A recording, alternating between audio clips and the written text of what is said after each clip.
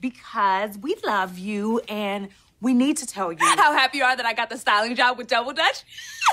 Wait, how did you two already hear? You got the job? You got the job! Oh, there's even a picture of Roxy to remind me that I'm doing better than her. My LFCUM EBM. LFCU MEBM? Least favorite cousin unless Maeve ever betrays me.